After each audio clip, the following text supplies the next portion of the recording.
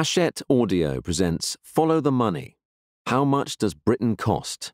Written by Paul Johnson and read by Paul Johnson and Rich Keeble.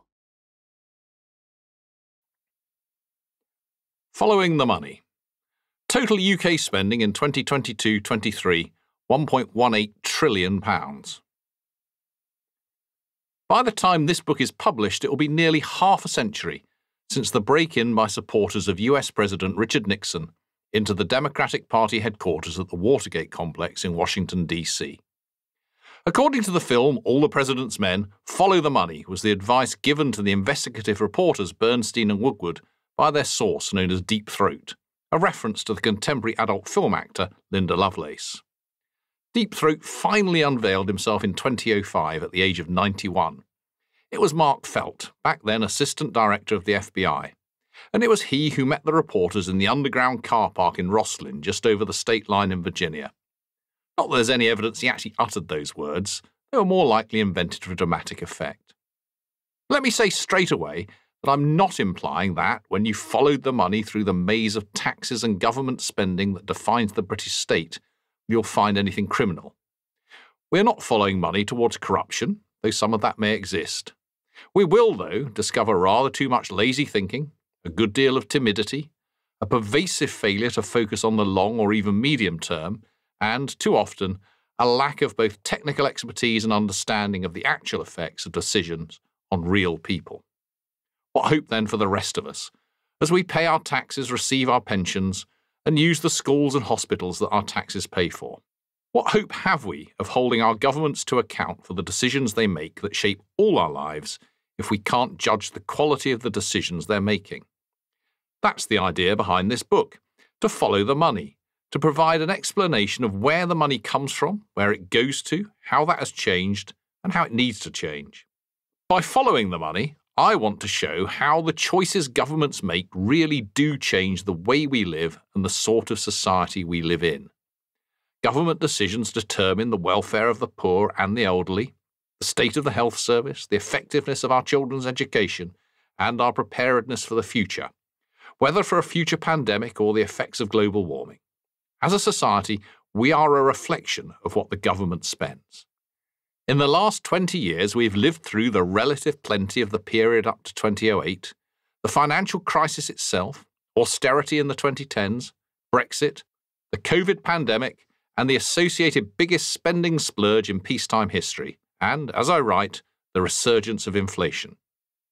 The government borrowed more during the pandemic year 2020 2021 than at any time in history outside of the First and Second World Wars. It is borrowing again on a vast scale to manage rising energy bills. Debt has ratcheted up. Demands for spending on health, social care, education, and much more besides are only going to go in one direction. Tax is following. The tax burden is at its highest sustained level in more than 70 years. An ageing population and consequent need for more spending on health, social care, and pensions means that, whatever the politicians may tell you, there will be more tax rises, if not soon, then certainly within the decade. So, we must start by looking at how taxation works. That matters. How could it not when nearly £4 out of every 10 we earn goes, one way or another, to the tax person? What are the combined effects of these decisions to take hundreds of billions from us every year and then dish it out again? The rest of the book covers the welfare state, the big beasts of government spending pensions, social security, health, social care, education, and local government. Defence spending will get a walk on part in the concluding chapter, which will also contemplate the public finances more broadly, alongside future challenges, not least those associated with climate change. If you glance at the references, you'll see that most of what's here is based on the work of my colleagues at the Institute for Fiscal Studies. The idea is to stick to what I know, what I really know. My perspective. It's probably worth knowing a bit about me before you embark on this book. I'm trying to offer an objective assessment, but I will inevitably bring my own experiences and prejudices to bear. You'll have learnt something from the last paragraph. I'm only going to write here about things I feel I know about. I've been a working economist for the past three decades, both in and out of government. I've been a director responsible for public spending at the Treasury. I was a senior official at the Department for Education. I have shared many of the assumptions, including many of the flawed ones, that underlie our system of taxing and spending. But being now director of the IFS, I can look on with some detachment and draw on a wealth of analysis, mostly done by my amazing colleagues. Part of the need for this book reflects the failure of we researchers, think tankers, and academics to communicate what we know. It also arises from the existence of a yawning chasm between the work of most academic social scientists and the work of government. The cultures, the incentives, the values are utterly different. The mutual incomprehension often astonishing to behold. Both worlds remain far too insular. Too many policymakers and politicians, and therefore civil servants, are focused on the short term and are shockingly ignorant of advances in the research world.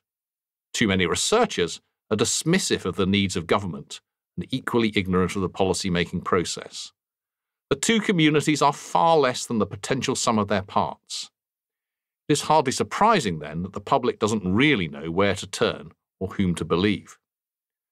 The government employs literally thousands of economists, statisticians, social researchers, and others carrying out good and important work. They're constantly analysing data, building and running models, and advising ministers. In many areas of policy, more analysis happens within the relevant government department than in all external bodies combined. Yet little of it ever sees the light of day, and if it does, it is often wrapped in a party political blanket.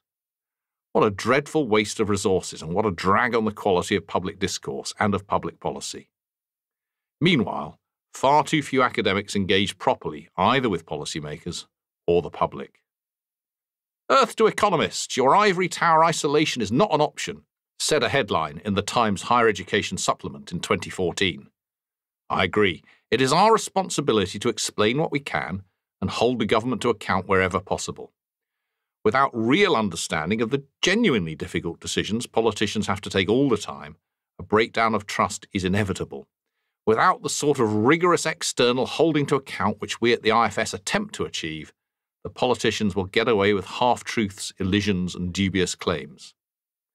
In the end, the discipline of economics and the markets creates some constraints. The precipitous fall in the value of the pound, an increase in the cost of government debt, which followed the massive unfunded tax cuts announced by then Chancellor Kwasi Kwarteng in September 2022, is evidence enough of that. But that is not enough. This book is designed to fill at least some of the huge gap left by the politicians, the civil servants, and the academics, to explain the necessary compromises and unnecessary mistakes, the successes and the failures. I have been hugely fortunate to spend the majority of my career at the IFS outside the constraints of politics. In all we do, we try to be objective. We are determinedly independent, have no political axe to grind, and certainly no political affiliation. As you'll see, that doesn't preclude a willingness to take a view about what is likely to work and what effects policies might have. But these views are based on the evidence as best as we can understand, analyse, and synthesise it. My first stint there began in the late 1980s, when it was an even smaller organisation than it is today, occupying rather shabby offices above a sewing shop in London's Tottenham Court Road. I was immediately pitched among the most extraordinarily talented bunch of people, far cleverer than I.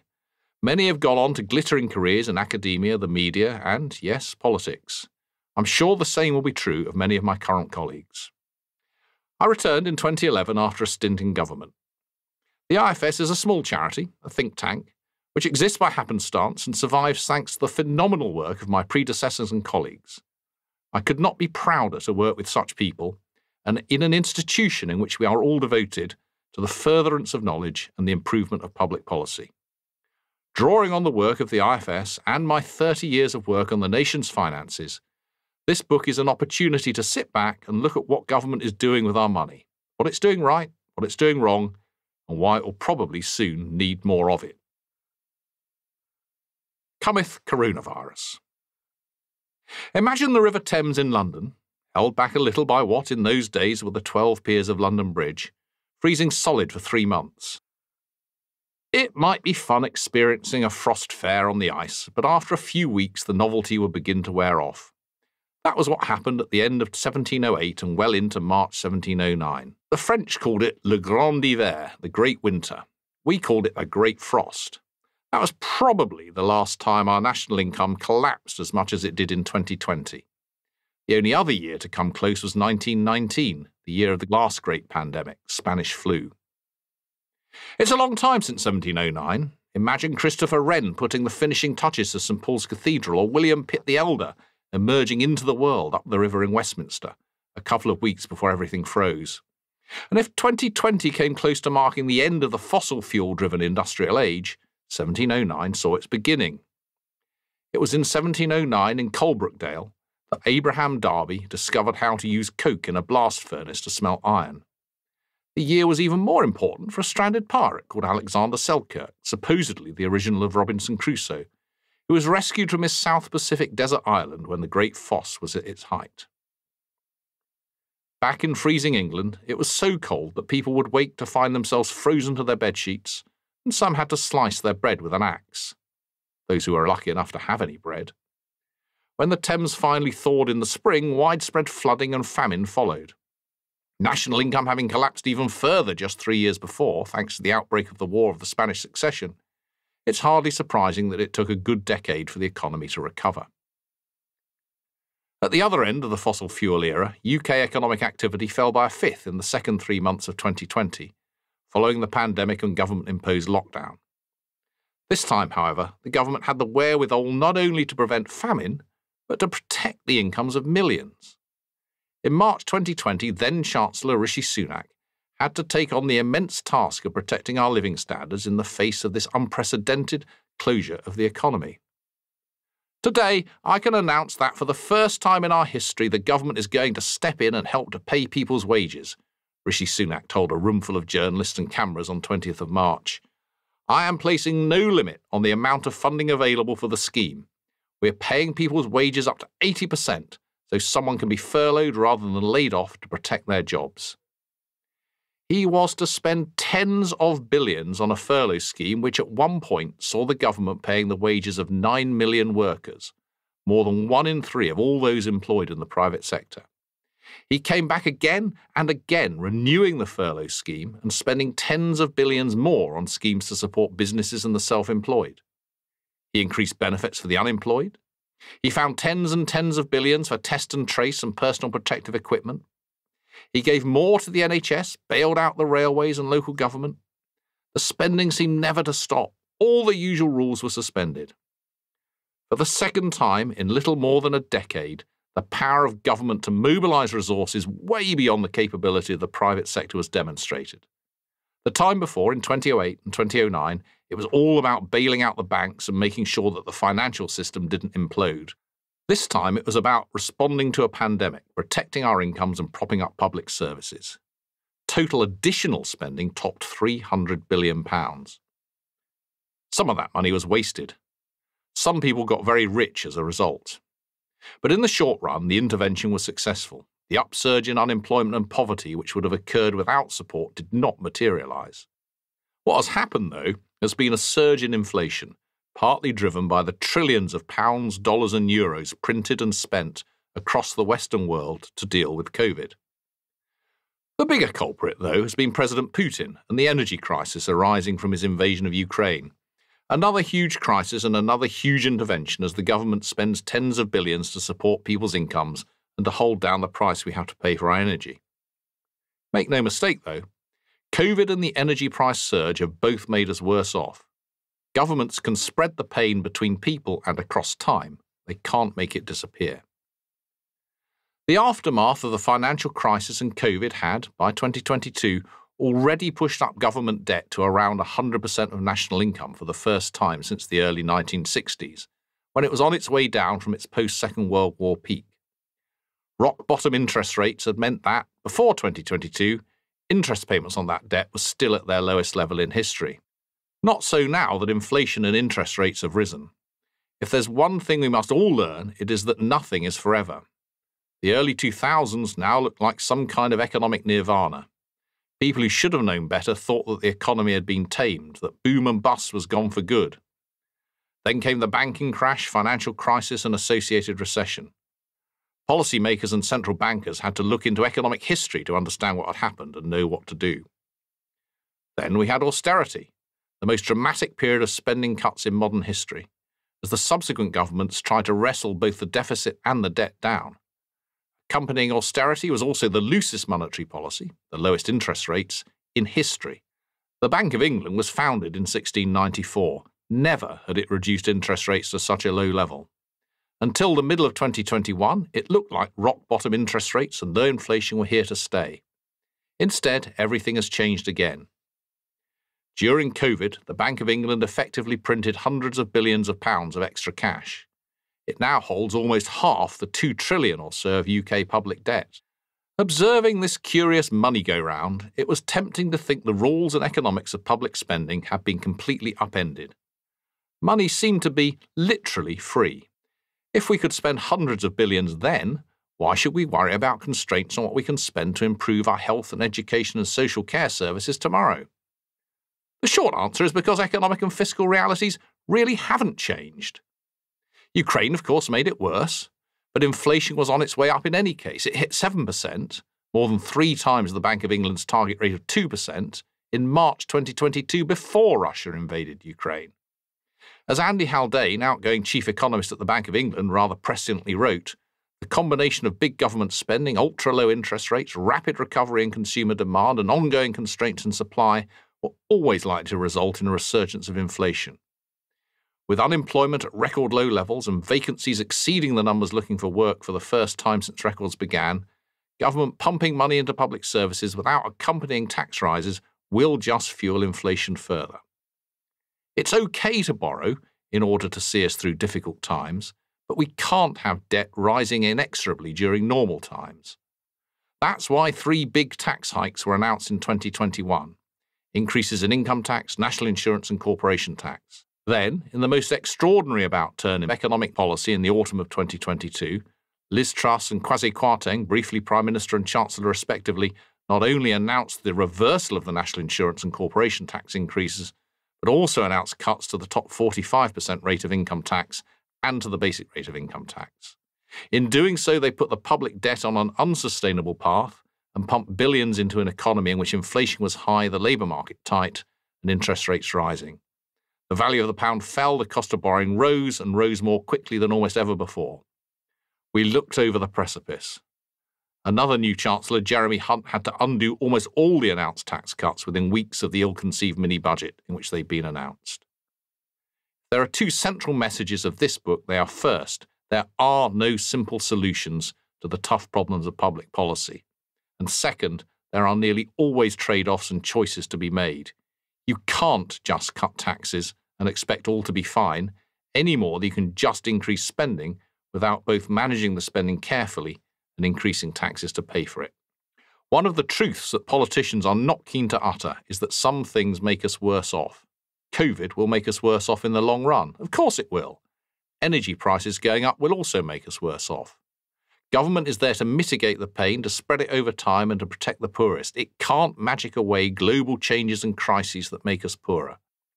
The Office for Budget Responsibility made that all too clear in November 2022 when it predicted that household incomes would fall further over two years than they had ever done in the more than 70 years since comparable statistics had been published and that tax as a fraction of national income will rise to record levels.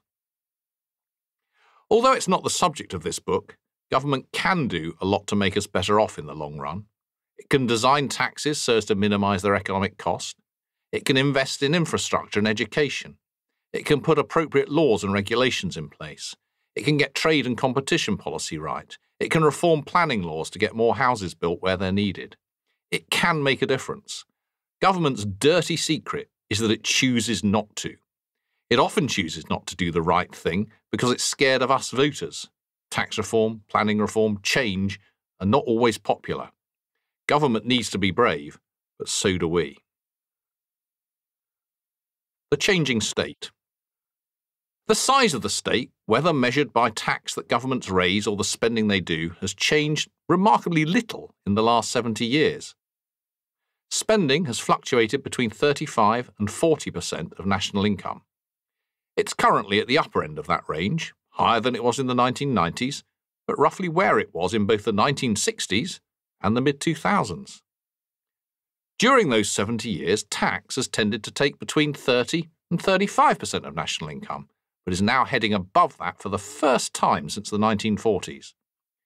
The difference between the tax and spending numbers, by the way, isn't entirely made up by borrowing. Government does have some revenue streams other than taxes, though those have become less important over time.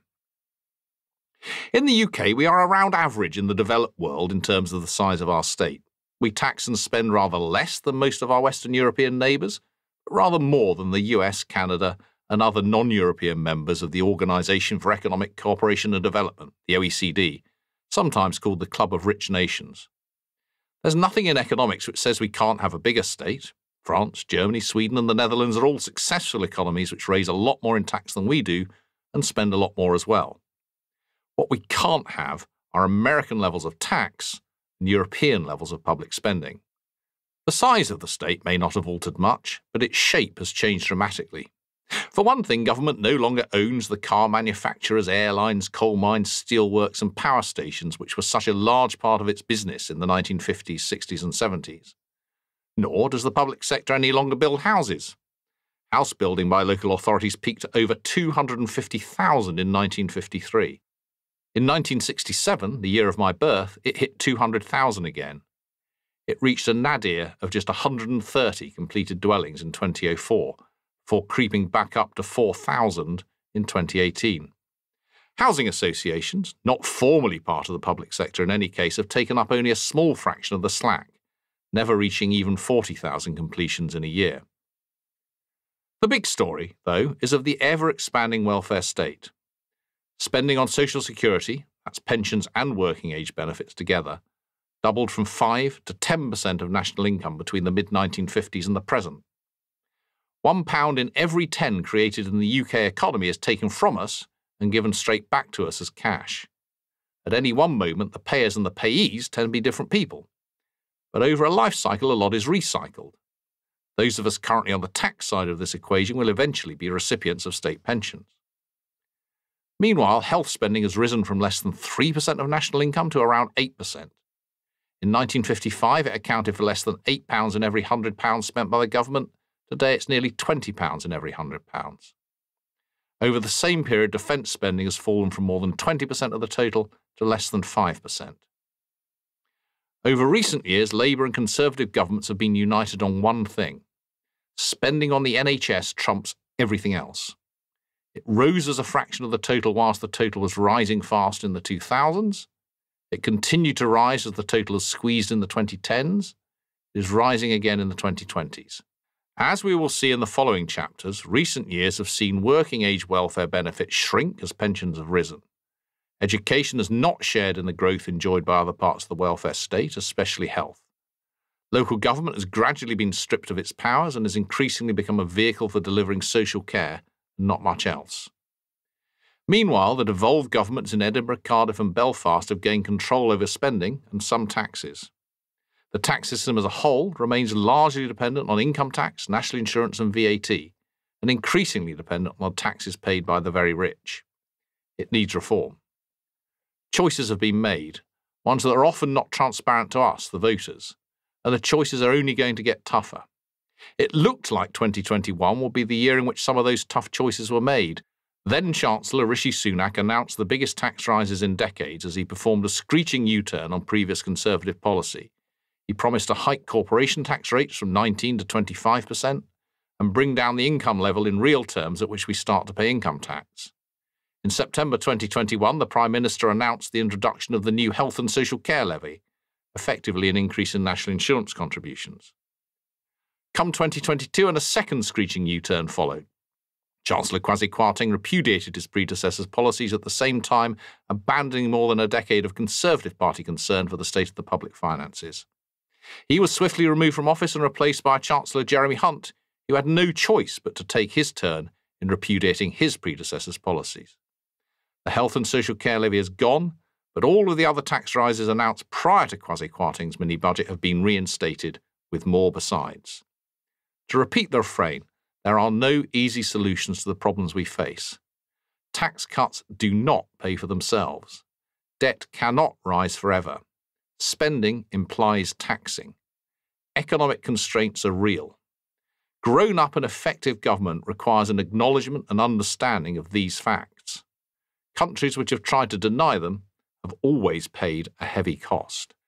As for spending, the challenges, both immediate and over the longer term, are going to be huge, even ignoring the pressures created by spiralling energy costs.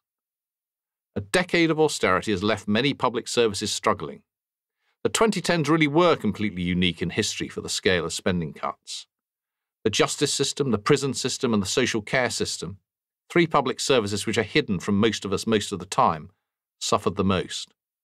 Local government spending was slashed by a fifth school spending per pupil fell. Health spending rose, but at its slowest rate since the formation of the NHS. Teachers and nurses saw their wages fall in inflation adjusted terms. Benefits for the unemployed and for low earners were cut, for some drastically. So even before Ukraine, before inflation, before COVID, the pressure for more public spending was becoming unstoppable. There's going to be no getting away from ever increasing pressures on the state. More money will be needed to deal with climate change. The need to keep feeding the NHS with more cash is not going to disappear. If there's one long term consequence of COVID which worries me beyond anything else, it is the need to mitigate the loss of education suffered by a generation of children, especially the poorest. Surely we will end up spending more there too. More pensioners will mean more spending on pensions and on social care. Benefits for those of working age are surely too meagre to be cut further. The list, it seems, is endless. Yet where is the debate about how to raise the tax and how best to spend the money? We have to make choices. If we want better public services, we will have to raise more in tax. If we want to cut tax, we have to be honest about which parts of the welfare state we're happy to spend less on. There are no shortcuts, no easy answers. Those who claim there are are taking us for fools. Hard choices are everywhere, and it's the failure of our leaders, our failure to face up to them, which is largely responsible for landing us in some of the problems that now beset us. Everything from feeble economic growth to burgeoning NHS waiting lists, from the squeeze on the living standards and prospects of the young to the disastrous social care system facing the elderly. Hence this book. I'm hoping at least to shine a light on some of the facts, the trade offs, and the tough choices that are the inevitable territory of the politician and the policymaker, especially those which they want to keep us in the dark about. Lest you think understanding doesn't matter all that much, just remember the two great referendums of our generation on leaving the EU and on Scottish independence. Arguments about public spending were at the centre of both. I don't need to be anti Brexit to say that the claim that membership of the EU cost us £350 million a week was a lie. It was a straightforward lie, cleverly used. Nor am I making a statement against Scottish independence if I point out that billions flow from the rest of the UK to support Scottish public services, billions that would be lost to the Scots if they became independent. There are far more important considerations than these which should and do determine people's votes, yet the fact that these simple truths were contested is evidence enough that they matter. What matters even more is the availability and quality of the public services we all consume and the fairness of efficiency of the taxes we all pay. Let us, therefore, brace ourselves. I hope this sets the scene for this book. It is a forensic look at some of Britain's annual budget, which is now nudging £1 trillion. Where does the money go to? Who does it come from? Where did it emerge from in the first place? Along the way, it will look at some of the things that matter to the size and shape of the state, the distribution of income and wealth, our changing demography, our economic performance. For we can understand nothing of current and future decisions without understanding what has happened to incomes, wealth, and inequalities. More than a decade of stalled productivity and the worst decade for earnings growth since the onset of the Industrial Revolution. The collapse in home ownership among those in their 20s and 30s. The growing importance of wealth and inheritance the 60,000 individuals whose incomes over £650,000 put them in the top 0.1%. The huge inequalities in health and education. All these are both products and determinants of government action. Having listened to this, I hope you, the listener, will end up understanding just a little more about the coming debate and the big choices we will have to make. Choices over the size and scope of the state, the overall levels of taxation and spend, choices over which taxes we get the money from and which parts of spending we prioritise. And, just as important, choices over exactly how we structure those taxes and deliver and manage that spending. Few things are more important to our well-being and to shaping the kind of society in which we wish to live. Chapter 1 Getting Our Hands on the Money. National accounts taxes in 2022 to 23, 910 billion pounds, of which income tax 248 billion pounds, national insurance contributions 175 billion pounds, VAT 157 billion pounds. Big taxes. It is hard to know quite what to make of William Pitt the Younger, more than two centuries after his death. He was clever, and very young. Not only was he our youngest Prime Minister, but when he got the keys to Downing Street at the age of only 24, he had already turned the honour down twice before and had already lived at number 10 as Chancellor of the Exchequer. He would go on to become our second longest serving Prime Minister. He was also capable of drinking prodigious quantities of port. You might well have caught him throwing up behind the Speaker's chair or giving the clerk a headache with his wine laced breath, or oscillating all the way back to his carriage.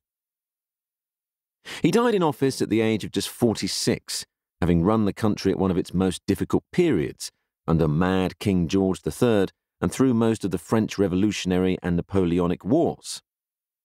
A sight to make surrounding nations stare, a kingdom trusted to a schoolboy's care, read the satire The Rolliad.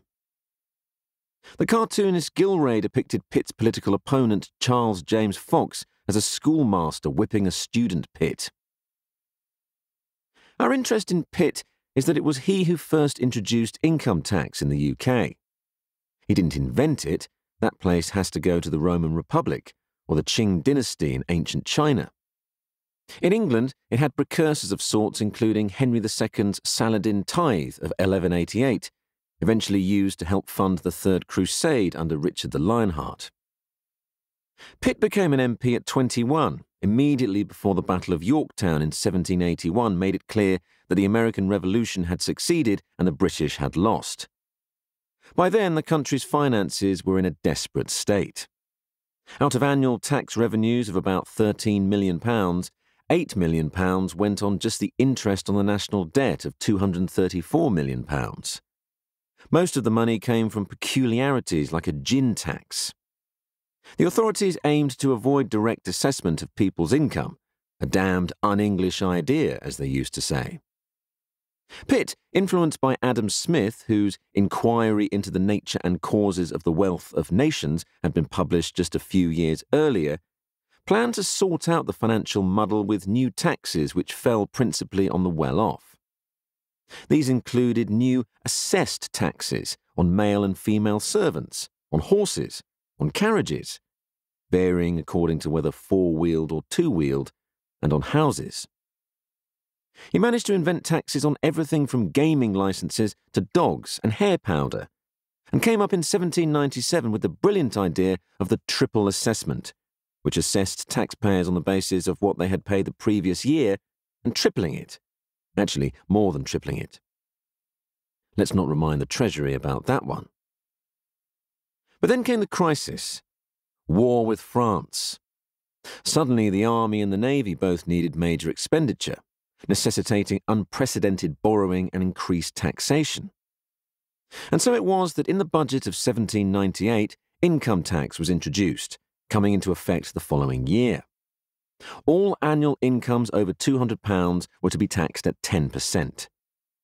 Those earning between £60 and £200 were taxed at a graduated rate from just under 1% upwards. No one was taxed on incomes below £60, which, given that an ordinary soldier's annual income was about £14, was itself quite a hefty sum. This was a very different tax threshold from the £12,570 we have today, a threshold that ensures that everyone in full time work pays income tax. At first, the tax was highly unpopular and was widely evaded, particularly among merchants and manufacturers. It only raised 60% of what Pitt had hoped. It was thought to be too intrusive into people's private financial circumstances. But in time, it came to be seen as a patriotic duty for winning the war against Napoleon. When a lasting peace was finally achieved after Waterloo, income tax was abolished, and there was even a symbolic public burning of the government records relating to the tax. It was brought back by Robert Peel in 1842, and despite repeated promises to abolish it by both Tories and Whigs, and by both Disraeli and Gladstone, it has remained with us ever since. At least nowadays, we don't have to sit through the sort of five hour long budget speech which Gladstone, as Chancellor, delivered in 1853, in which he outlined his seven year plan to do away with income tax. The Crimean War put paid to that. Pitt died in 1806, a few months after his great contemporary, Horatio Nelson. He may have managed the nation's finances through crises even worse than those we face today, but he was famous for handling his own personal finances rather badly. In fact, he left behind a huge personal debt of £40,000, many millions in today's terms. A grateful government paid it and gave him a state funeral to boot. Times have changed rather since the days of Pitt, or indeed of Gladstone. Even following austerity, COVID, and the cost of living crisis, we don't hear much about a patriotic duty to pay our taxes to support the welfare state. The Victorians, though, remained allergic to high levels of taxation, and it took the best part of the 19th century to pay down the huge debts accumulated during the Napoleonic Wars. Even by the turn of the 20th century, the UK government took less than a tenth of national income in taxes. That had jumped to a fifth by 1920 in the aftermath of the First World War, and to a third by the time the Second World War came to end. The tax burden today is not so much higher than that, though heading now for over 37% of national income, the highest we have borne since the late 1940s. That's around the OECD average and considerably less than in many Western European countries, including France and Germany. Just as the Napoleonic and Crimean Wars played a crucial role in the birth of income tax, and the First and Second World Wars saw the tax burden ratchet upwards, it looks like the recent crises, COVID and the energy price shock, will see another upward ratchet.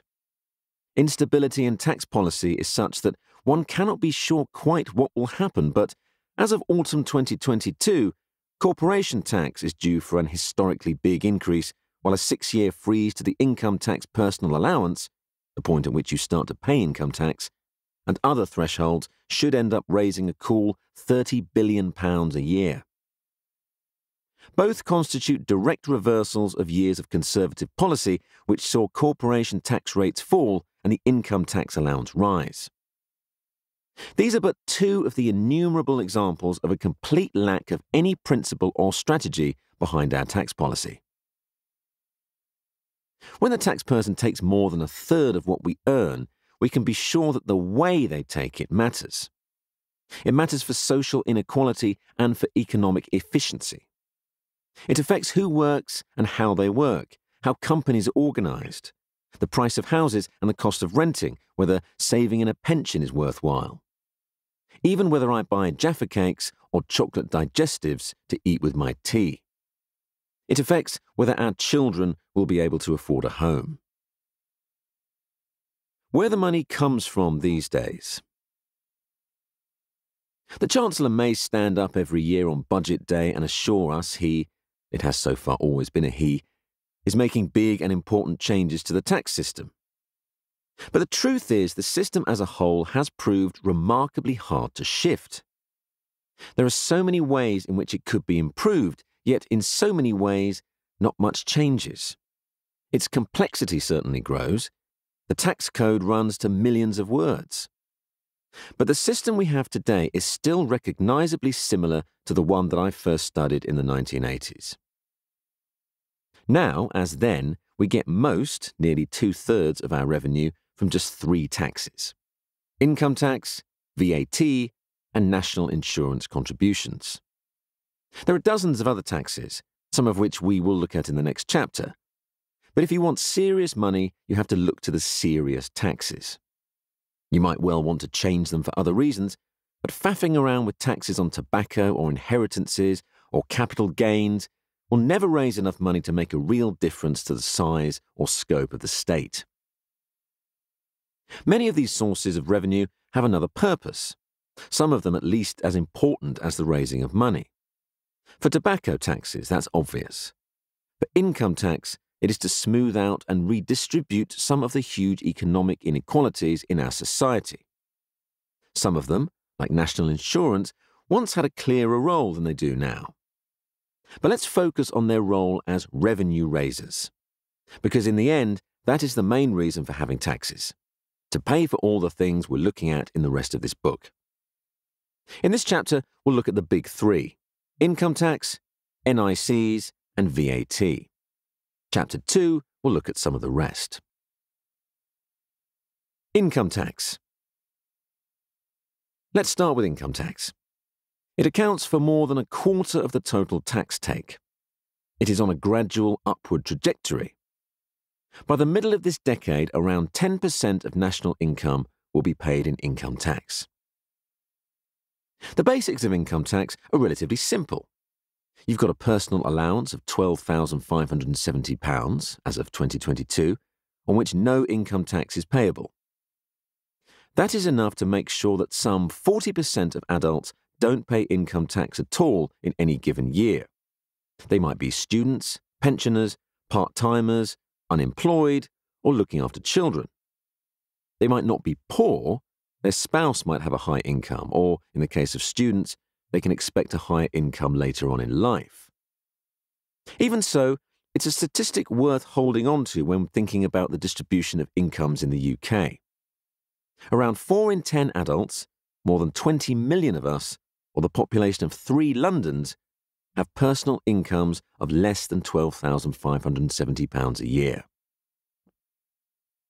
If you are one of the 32 million or so who do pay income tax, then it's charged at 20% on the next £37,770.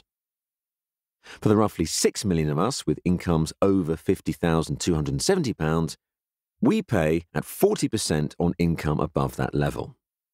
The basic rate of income tax has been falling for decades. It was 33% in 1979. The point at which the higher rate kicks in has also been coming down. Being a higher rate taxpayer used to be quite unusual. By the mid 2020s, nearly 8 million people, about a quarter of all income taxpayers, are likely to be paying 40% tax. There will also be nearly 2 million paying at either 60% or 45%. The 45p tax rate is quite well known. It's the rate payable on the highest incomes, over £150,000 since 2010, but coming down to incomes over £125,140 in 2023. Why that very specific number? Because that's where a current 60% rate runs out. Mad but true. Your tax rate rises from 40 to 60% and then falls back to 45% from April 2023 as your income rises from just under £100,000 to just over £125,000. Of course, that's not how the 60% rate is described. It's described as the tapering away of the personal allowance, a policy put in place back in 2009 by the then Chancellor Alistair Darling. If you're married and you pay tax at the basic rate and your spouse doesn't pay income tax, then you're entitled to an extra tax free allowance of £1,250, which you lose as soon as your income hits the higher rate threshold of £50,270. That means you can get a pay rise and become worse off. If your income goes up by a pound and tips you over the £50,270 mark, you lose the whole of that allowance immediately. This is, of course, not sensible. If you have children, then your child benefit gets taxed away once your income rises over £50,000. If you have three children, this will mean an effective tax rate of 68% on incomes between £50,000 and £60,000. Income tax is a tax on income, but what is income? That's a question that economists and tax lawyers have spent a lot of time debating. If I get paid in gold rather than cash, that should definitely count as income. And so it should count if part of my remuneration comes in the form of a company car. If my wealth rises because the value of something I own, maybe my own company, maybe a painting, rises, shouldn't that count as income too? You can see the difficulties already. We don't count capital gains or gifts or inheritances like other income for tax purposes. That naturally provides opportunities for tax planning. And that's before we worry about whose income it is. Until 1991, we used to add the incomes of husbands and wives together and tax the total. Now we largely treat them entirely separately for tax purposes, though quite definitely not separately for the purposes of determining eligibility for welfare benefits. Joint taxation was problematic not just because it afforded no privacy within marriage, but because it could disincentivize the second earner, usually the wife, from working. She might have had to pay a high rate of tax on the first pound earned because her husband was a high earner. The current system has its own problems. It means that a couple where both earn £40,000 pay a lot less tax than a couple where one earns £80,000 and the other nothing. If one spouse sets up a company and pays half the dividends to her husband, that can mean a lot less tax than if she just paid them to herself. The really big issue, though, which has exercised economists for decades, if not centuries, is what to do about savings. If I'm putting money away in a pension, say, should the money I save be counted as income today? I'm not spending it now, I'll spend it later when I draw the pension. If you count it as income today and when I withdraw it, then that really is a form of double taxation. Subject to increasingly stringent limits, you can put money in a pension today and not pay any income tax until you withdraw it. So your taxable income today is your total income less your pension contributions. It works the other way around with individual savings accounts, ISAs. You put money in today after you've paid tax, but then pay no tax, including on any interest or capital gains, when you withdraw it. That's sort of also how we tax owner occupied housing. Buy the house out of taxed income but pay nothing when you sell it, even if you've made a whopping capital gain. Because the ISA housing route allows people to make huge gains untaxed, the pension tax route is the better one. Don't tax savings when they're saved, tax them when they're withdrawn and used. That doesn't penalise savings, but it does make sure that you get taxed appropriately if you happen to do very well. Inevitably, Things are more complicated than that simple picture suggests. Pensions are more tax privileged than that. You pay no national insurance contributions either when the money goes in or when it comes out if the pension contribution comes from your employer. Surprisingly enough, most pension contributions come from the employer. You can also take a lump sum of a quarter of the accumulated pot completely free of tax, up to a maximum of just over £250,000. That we offer the most generously pensioned such an enormous tax free bonus is a scandal. Not as much of a scandal as the way pensions are treated for inheritance purposes. Don't much need your pension? Use it as a vehicle for the avoidance of inheritance tax instead. Of course, the government over the last decade has done exactly the wrong thing. Instead of limiting these egregious reliefs, they have limited the amount you can save in a pension at all. Never mind. The principle of saving free of tax and then paying tax at the end is right. Eminent economists, including Nobel laureate James Meade, who wrote a huge report for the IFS back in the 1970s, and even more persuasively John Kay and Mervyn King, respectively my predecessor but three at the IFS and a future governor of the Bank of England, have been making that case for years. Unfortunately, the tax system has been going in the other direction. Chancellors tend to be greedy. Why wait for the tax revenue until people withdraw their pensions or savings when you can have it now? You can put far less into a pension than used to be the case, but far more into an ISA. Before we move on to the other two tax behemoths, NICs and VAT, a word about the role of income tax in redistribution. Within the tax system as a whole, income tax does the heavy lifting when it comes to reducing inequality. The richest pay at a marginal rate of 45%. Around 4 in 10 adults pay no income tax at all. We are now in the remarkable position whereby the top 1% of income taxpayers contribute 30% of all income tax. That top 1%, those with incomes over around £190,000, tend to be male, middle aged, and living in and around London. The top 5% pay half of income tax, and the top half pay 90% of it, which means that the bottom half pays just 10%. Given how many don't pay income tax at all, that means that 90% of income tax is paid by just a third of the population. The rest, a little more than two thirds, pay just 10% between them.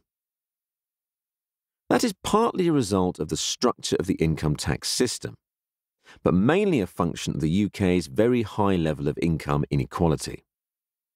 The rich pay such a large share of income tax because they receive such a large share of total income. The top 10% of adults receive just over 40% of all fiscal income. That is income which counts for tax purposes. That's around the same amount that flows to the bottom 80%. The top 1%, meanwhile, receive 15% of all fiscal income, the same share that flows to the bottom 55%. The top 0.1%, a group of just over 50,000 people with incomes in excess of around £650,000, meanwhile, receive 6% of total fiscal income, 60 times greater than their share of the population. Right in the stratosphere of the income distribution, the super rich look quite different to the rest of us. Not just in how much income they have, but in where they get it from. Most of us ordinary mortals get most of our income in the form of wages, or pensions, which we can think of as deferred wages. Not so the rich. Here we're talking not about the top 1%. They tend to be like the rest of us, wage slaves but with higher wages over £190,000 or so. Once you get to the top 0.1%, though, those with over around £650,000, business income starts to play a bigger role, accounting for more than a third of their income. Business income can include the income individual owners of a business receive, or the income that, say, equity partners in law firms get to enjoy, or income from stocks and shares.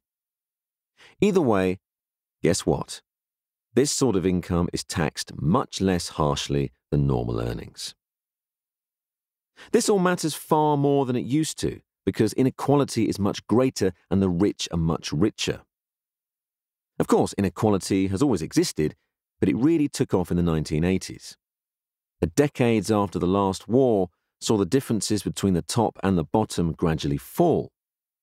The 1980s were different the closure of much old industry, technological change, creeping globalization, the neutering of the trades unions, and the deregulation of finance, the famous Big Bang in the City of London, all these contributed to a massive increase in inequality of pre tax incomes.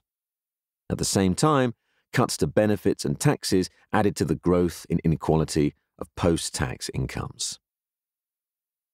On the whole, inequality hasn't changed much since then. Since 1990, the poor have got no poorer relative to the middling well off. They, in turn, have fallen no further behind the really pretty well off. The top 1%, on the other hand, continued to pull away right up to the time of the financial crash. After that, they fell back a bit, but have recovered most of the ground since. Post COVID, for the first time in more than a decade, the richest are pulling away once more with financial services once again leading the way. The dominance of our financial sector is one reason that inequality in the UK is higher than in most comparable countries. It took watching his son being paid 225 grand at the age of 27 after two years on the job to shake my father's faith in money, wrote Michael Lewis about his time on Wall Street in the late 1980s. Meanwhile, our reliance on the very richest has been growing over time. 40 years ago, the top 1% paid only about a tenth of total income tax. It was a fifth 20 years ago, a quarter a decade ago, and about 30% today. The big increases up to 2010 were down to big increases in income. Since 2010, the rich haven't actually got richer, but the income tax system has become more progressive. The point at which the top 45% rate kicks in has been stuck at £150,000 for more than a decade now, and the numbers paying it have more than doubled to nearly half a million. Pension tax relief for the highest earners has also been slashed. Could we get more from top earners? George Osborne cut the rate on those with incomes over £150,000 from 50% to 45% in 2013 arguing that the cost of doing so would be negligible because people respond to rates as high as 50% by avoiding tax. Robert Chote, then head of the Office for Budget Responsibility Fiscal Watchdog, said we were strolling across the summit of the Laffer curve, a reference to the famous curve drawn by American economist Art Laffer, showing that at some point the tax rate can get so high that you could raise more revenue by cutting the rate. Obviously, if you tax at 100%, nobody is going to bother earning or declaring any income because they get no benefit from doing so. At some point, tax rates can get so high that cutting the rate really will bring in more tax revenue.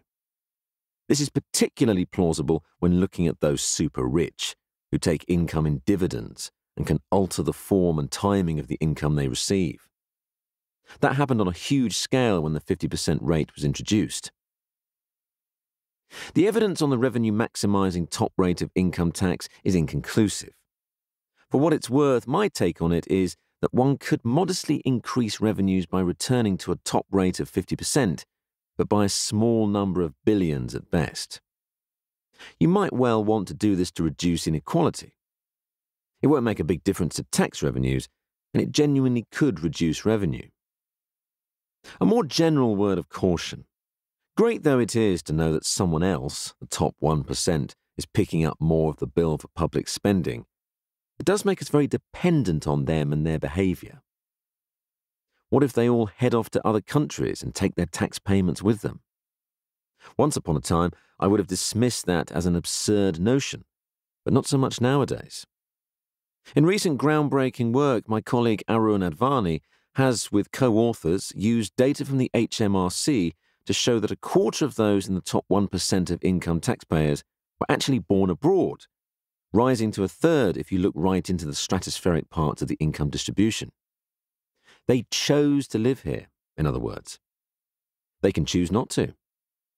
In large part, this again reflects the importance of the financial services sector in the UK and the international nature of its workforce. Those jobs and those people really could move abroad if we make the UK less attractive by, for example, leaving the We hope you enjoyed this preview.